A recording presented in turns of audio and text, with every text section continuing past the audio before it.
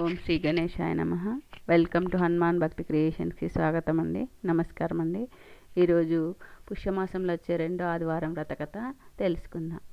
Previous వీడియోలో చెప్పినట్టుగా ఉదయాన్నే లేచి సూర్యుడు ఉదయించకముందే జడ వేసుకోవాలి. ఆ, సూర్యాస్తమయ అయినప్పుడు భోజనం చేయకూడదు.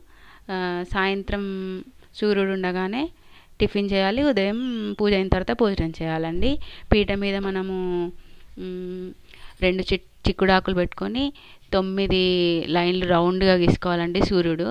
ఆ తర్వాత హాఫ్ సర్కిల్స్ అంటే చంద్రునిలాగా తొమ్మిది లైన్స్ గీసుకోవాలి చిక్కుడాకులు పెట్టుకొని. అప్పుడు సూర్యుడు చంద్రుడు గోవు పదాలు వేసుకోవాలి నాలుగు. అలా వేసుకొని పసుపు కుంకుమ అక్షంతలు పెట్టుకొని సూర్యాష్టోత్తరం చదువుకోవాలండి. చేసుకొని నైవేద్యంగా చిక్కుడు రేగుపళ్ళు జీడిపళ్ళు చెరుకు గడలు పాయసం పెట్టుకోవాలండి. పెట్టుకొని సంకల్పం చెప్పుకొని పూజ చేసుకోవాలి. చేసుకున్న తర్వాత కథ చెప్పుకోవాలండి. ఈరోజు మనం చెప్పుకోవే కథ ఏంటంటే ఒక ఊరిలో ఒక మహారాజు ఉండే ఒక రాజ్యానికి రాజు ఉండేవాడు. రాజుకు లేక లేక సంతానం కలుగుతుంది ఒక అమ్మాయి. ఆ అమ్మాయికి గారాభంగా పెంచుకుంటారు అనమాట పెంచుకుంటుంటే చిన్నప్పటి నుంచి ఆ అమ్మాయికి పెరుగన్నం అంటే ఇష్టం అనమాట అయితే రోజు పెరుగన్నం పెట్టిన తర్వాత లాస్ట్కు రెండు ముద్దలు దిష్టి తీసి రాజభవనం బయట వేసేవాళ్ళనమాట ఆ వేసినప్పుడు ఏంటంటే అవి చెట్లుగా మారుతాయి అనమాట ఆ పెరుగన్నం ముద్దలు చెట్లు చెట్లు అయిపోతాయి అనమాట రోజు అలా వేస్తూ వేస్తూ అన్ని పెరుగు చెట్లు మొలుస్తుంటాయి. అప్పుడు రాజు అనుకుంటాడు. అమ్మాయి బాగా పెరిగిన తర్వాత ఈ అమ్మాయికి వివాహం చేయాల్సిన టైంలో అప్పుడు ఏమనుకుంటాడంటే మన అమ్మాయికి యువరాజుని తేవాలంటే ఏ ఎలాంటి స్వయంవరం పెట్టాలి ఏం చేయాలనుకునేటప్పుడు మహారాణి అంటుందన్నమాట. చిన్నప్పటి నుంచి మన అమ్మాయికి మనం రోజు పెరుగన్నం తినిపించేటప్పుడు లాస్ట్ రెండు ముద్దలు అక్కడ వేసినప్పుడు పెరుగు చెట్లు మొలుస్తాయి కదా అవి ఎవరైతే చెప్తారో అప్పుడు మన అమ్మాయిని మనం సగం రాజ్యాన్ని ఇద్దాము అని సాటింపు చేస్తారు రాజ్య రాజ్యాలకు దేశాలకు మొత్తం సాటింపు చేస్తారు అప్పుడు అందరు మహారాజులు వస్తారనమాట యువరాజు. చి అందరికీ స్వయంవరంలో పాల్గొన్న తర్వాత మా అమ్మాయిని పెళ్ళి చేసుకోవాలంటే ఇవి ఏం చెట్లు అని అడుగుతాడనమాట రాజు. అయితే ఎంతమంది యువరాజులు వచ్చినా ఎవరు ఎక్కడెక్కడ దేశ రాజులు వచ్చినా చాలామంది ఎవరు చెప్పలేకపోతారనమాట. అప్పుడు పూర్వకాలం ఏంటంటే జంతువులకి పక్షులకి కూడా మాటలు వచ్చేవంట అయితే అక్కడి నుంచి రోజు ఒక సింహం బయలుదేరేదంట అక్కడి నుంచి అడవికి వెళ్ళేదంట. అప్పుడు ఆ సింహం రోజు చూస్తుందంట. వీళ్ళు పెరుగు పడేసినప్పుడు చెట్లు మొలిచినాయి అనే సంగతి. ఆ సింహం కూడా ఆ టైంకి అక్కడే ఉంటుందన్నమాట ఆ సింహం అంటదంట రాజాగారు నేను చెప్తాను అవి ఏం చెట్లు నాకు ఇస్తారా మీ అమ్మాయిని అని అడుగుతుందంట. అప్పుడు సరే అని ఒప్పుకుంటాడంట. ఒప్పుకున్న తర్వాత రాజు మాట తప్పకూడదు కాబట్టి ఆ సింహం చెప్తుందంట పెరుగు చెట్లు ఇవి అని. అయ్యో ఏం చేయలేము ఇంకా మాట తప్పకూడదు కదా అని అమ్మాయికి ఇచ్చి వివాహం చేశాడంట. ఆ అమ్మ ఆ యువరాణి చాలా బాధపడుతుందంట. ఇంకా ఆ సింహం తీసుకుపోయి ఈ మహారాణిని ఒక గుహలో ఉంచుతుందంట అడవిలో.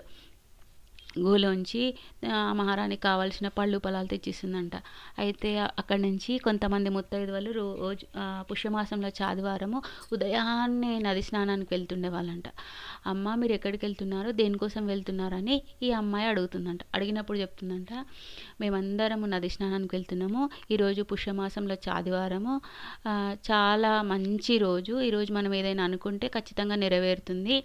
ఆరోగ్యం బాగుపడుతుంది ఆరోగ్యం లేని వాళ్ళకని చెప్తారంట ముత్తైదు ముత్తైతనంగా ఉండొచ్చు మనము ఏ పూజ చేస్తే అని చెప్తారంట.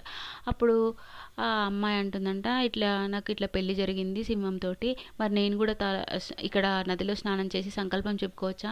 ఈ సింహము మహారాజుగా మారతాడా? అంటే అమ్మ ఏ మనం చే మనం పూజ చేసి నమ్మకంతో మొక్కుకుంటే నెరవేరుతుంది ఖచ్చితంగా. నువ్వు కూడా ఈరోజు నదిలో స్నానం చేసి సూర్యుడిని చంద్రుని వేసుకొని పూజ చెయ్యి సూర్య భగవానుడికి. అప్పుడు మారుతుందని చెప్తాంట. అయితే ఆ మొదటి వారంలో స్నానం చేసి పూజ చేసుకొని కొన్ని నీళ్ళు తెచ్చి ఆ సింహము కాళ్ళ మీద పోస్తుందంట. ఆ కాళ్ళు మనిషి కాళ్ళు అయిపోతాయంట. అలా ఒక వారము చేసి రెండో వారము కొన్ని నీళ్ళు తెచ్చి రెండో వారం చేతుల మీద మూడో వారము తోక మీద నాలుగో వారము శరీరం మీద అట్లా వేసేదంట అప్పుడు కొంచెం కొంచెం కొంచెం కొంచెం మొత్తము సింహం మారుతుంది. ఇంకా ఐదో వారంకి వచ్చేసరికి తల భాగం మాత్రం మిగులుతుందంట. అప్పుడు మళ్ళీ నా తల్లిదండ్రులు ఎవరిని తెచ్చుకున్నావు అనగలని ఏం చేసేదంట ఆమె? ఐదో వారము వాళ్ళ తల్లిగారింటికి పోయి మహారాజు దగ్గర ఈ కథ అంతా చెప్తుందండి ఇట్లా కొందరు మహిళామణులు నది స్నానానికి వెళ్ళి ఇట్లా నాకు కథ చెప్పారు పుష్యమాసంలో ఆదివారం నేను పూజ చేస్తే ఇట్లా నా భర్త మారిపోతుండు. అందుకని ఈ ఆఖరి వారం మీకు అందరికీ చూపించి ఆ నది నీళ్ళు చెప్పి సంకల్పం చెప్పుకొని సూర్యభగవానుడి అర్ఘ్యం చెప్పుకొని పూజ చేసుకొని తెచ్చి మీ ముందే పోస్తా అని చెప్పి అన్ని పూజ చేసి నదికి వెళ్ళి స్నానం అన్ని ఆ నీళ్ళు తెచ్చి ఆ సింహం తల మీద పోస్తే అప్పుడు మహారాజుగా మారతాడనమాట ఇంకా అప్పటి నుంచి ఆ రాజ్యంలో ఉన్న వాళ్ళందరికీ రాజు చాటింపు వేశాడనమాట పుష్యమాసంలో ఆదివారం మాత్రము అందరూ ఈ పుష్యైతారం కథలు చేయాలని పుష్యమాసంలో వచ్చే సూర్యభగవాను పూజించుకోవాలని చాటింపు వేశాడు. అప్పటి నుంచి ఆ రాజ్యంలో అందరూ పుష్యమాసంలో వచ్చే ఆదివారాలన్నీ పూజ చేస్తారు. ఆ రోజు ఆమె చేసుకుంది ఈరోజు మనం చేస్తున్నామని చెప్పి సూర్యునికి అర్ఘ్యం ఇచ్చి ప్రదక్షిణాలు చేయాలి. ప్రదక్షిణాలు చేసుకుని అర్ఘ్యం ఇచ్చేటప్పుడు ఓం సావిత్రి నమ ఓం సావిత్రి నమ ఓం సావిత్రే నమ అని మూడు సార్లు చెప్పి అర్ఘం ఇచ్చి సూర్యుడికి కూడా చిక్కుడాకులలో నైవేద్యం పెట్టాలి.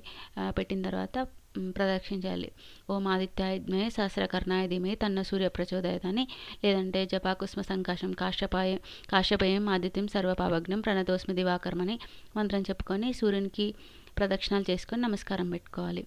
ఆ రోజు ఆమె చేసింది ఈరోజు నేను చేస్తున్నా భగవంతుడు ఆరోగ్యంగా ఉంచని దండం పెట్టుకోవాలి. థ్యాంక్ యూ మా ఛానల్ని సబ్స్క్రైబ్ చేసుకోండి లైక్ చేయండి షేర్ చేయండి.